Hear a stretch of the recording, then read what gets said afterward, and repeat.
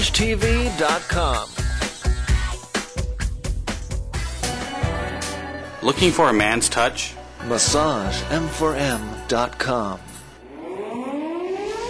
Here is a news flash. Hello out there in Internet Wonderland. I'm Jonathan Riggs. And I'm Mal. And this is the Gay News. Here is a news flash. Iraq War update. So the dish is only this size. It's the size that'll fit right in your rectum. What's the gay weather looking like? out? All right, well, the gay weather. Deviant sexual intercourse. I got a video to tell you all about. Hooray for Hollywood! You think you haven't gotten to the gay channel yet? We have the Gay Entertainment Report with Mr. Leo Buck and a wonderful interview that he has, an exclusive interview with a big star. They watch it, see it. Anyways, Gay Entertainment Report with Mr. Leo Buck. Hey there, I'm Leo Buck, as always bringing you the kind of entertainment you're not going to get uh, find in the paper, P, not going to find it in the pages of People Magazine or Entertainment Weekly. As many cities across this country prepare to celebrate Gay Pride, it's a great time to recognize those who have, in their own way, scored some type of uh, some type of victory for the gay community. One such pioneer is Mr. Norman Korpi, best known from MTV's The Real World.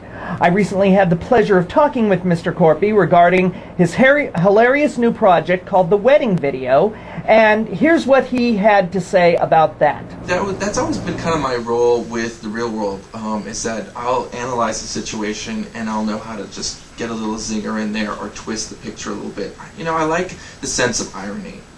You know, and um, and I like to show the world a different way to see something. You know, it's important for me to create a new vision. Go, wow, I've never really thought that we could actually create a wedding video and make that a feature film.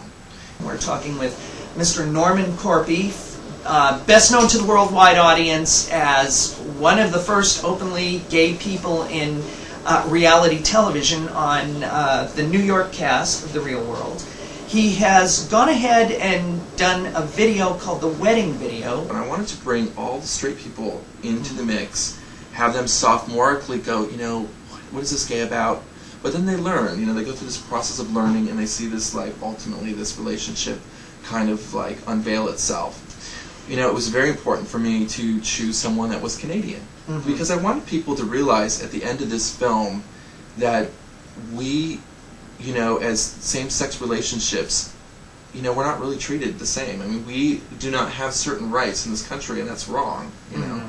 it's you know, if you fall in love with someone from a foreign country, you know, when their visa's up, that's that's just kind of wrong. And a lot of people who've seen the film, and a lot of people are mostly straight that come and see the film that we've been screening, and it takes them a few seconds to go, wait a second, you know, I do see something that's not right here. This is kind of like a wrong situation. And we're talking about the philosophical Right. angles. It's d- damn funny. I mean, you've got a very dry sense of humor. It's one of those you want to see more than once because Yeah. you'll pick up things that I didn't see that That's the later. first time, and so you'll be getting different Right. laughs every time that you, Right. you watch it.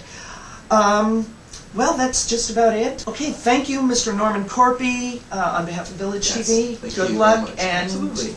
Congratulations on a very, very funny video.